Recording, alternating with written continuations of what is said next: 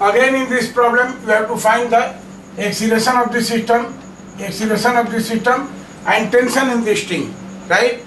अब यहाँ पर देखिए, यहाँ पर दो स्ट्रिंग्स हैं, इसलिए दोनों स्ट्रिंग में टेंशन अलग अलग होगा। और मान लेते हैं कि सपोज़ इस स्ट्रिंग में टेंशन दिस इज़ यहाँ ये टेंशन T1 है राइट तो ये इस साइड में टेंशन हो जाएगा T1 और इस स्ट्रिंग में टेंशन T2 है right it is T2 then ये हो गया आपका T2 this tension is T2 अब करना क्या है? सब सारे बॉडी का फ्री बॉडी डायग्राम लिखना है। ये देखिए, एकदम स्मूथ फ्लोर है इसलिए कहीं भी फ्रिक्शन नहीं है।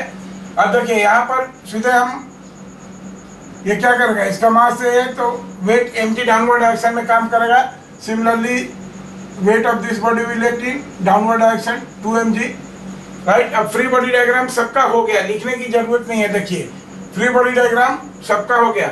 Let us suppose A is acceleration of this system मान लेते हैं कि ए एक्सीलेशन से ये system of course this this mass is two M तो सिस्टम हमारा ऐसे जाएगा। Left to right clockwise direction में ऐसे मूव होगा। ये ऊपर जाएगा तो इसका एक्सीलेशन हो गया ए ये नीचे आएगा तो इसका एक्सीलेशन हो गया ए डाउनवर्ड डायरेक्शन में।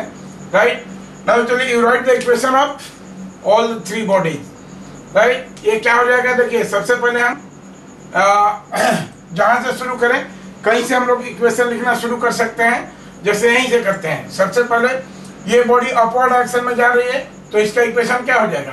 दिस इज़ टी वन देखिए यहाँ से T one minus M G तो this is T one minus M G this will be equal to M into A this is equation number one देखिए, इसका ये हो गया। सेकेंड अगर हम इसकी बात करें तो ये ए एक्सीलेशन से जा रहा है लेफ़्ट टू राइट ऐसे तो पुलिंग फोर्स क्या है? T two minus T one so we are you have T two minus T one this will be equal to three M इसका मास हुआ three M into A this is equation number two and for this body what we write देखिए, ये downward direction में आ रहा है। तो downward downward direction में पुलिंग फोर्स क्या है? This is two M G minus T two तो two twice M G minus T two this is equal to two M into A this is equation number three चलिए इन तीनों को add कर दिए।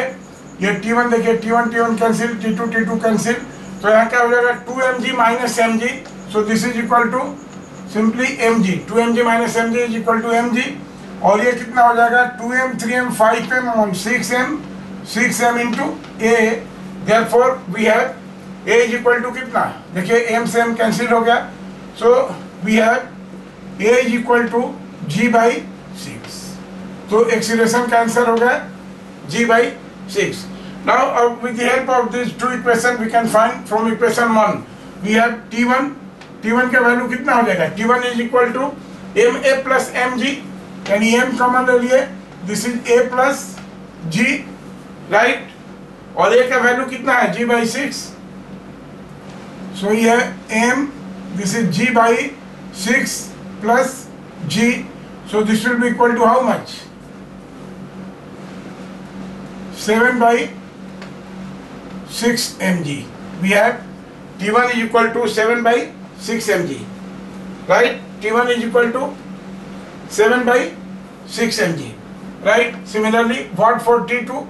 Okay, we have T2 is equal to from equation 2, we have T2 is equal to या यहीं से हम कर सकते हैं from equation 3 T2 is equal to 2m common ले लिए 2m कितना हो जाएगा g minus a now this is g minus a so this will be twice m g minus g by 6 so this will be how much देखिए 6 5 तो ये कितना हो जाएगा this will be Mm-hmm. 6 minus 1 5 by 6 so this is 10 by 6 G. This is 10 by 6 G. So this is 10 by 6 G or we can say T2 is equal to 5 by 3 G. 3 mg right here? 5 by 3 mg right? 5 by 3 mg this will be insert, this will be insert and acceleration will be the